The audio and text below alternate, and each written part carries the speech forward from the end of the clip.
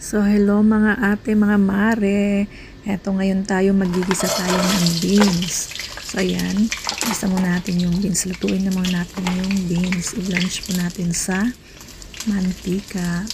Then, after po nyan, gisa-gisa lang eh. Halu-haluin lang po natin yun siya, guys.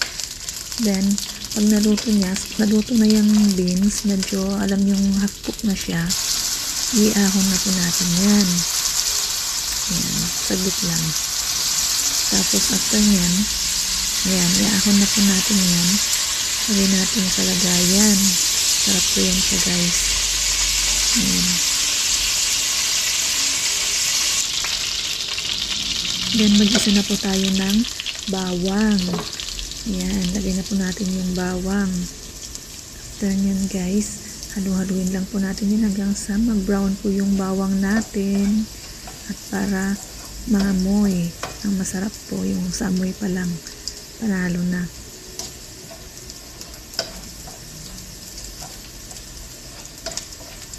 Ayan.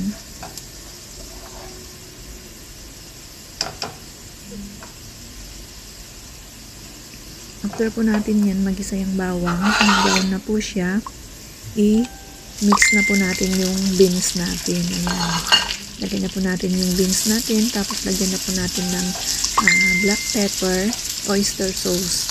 Ayan siya guys. Ayan, masarap na po yan siya guys. Solve na po yung ah, pananghalian natin. Ayan, buburan po natin ng black pepper. Tapos oyster sauce. Ganyan lang po siya guys. Simple lang.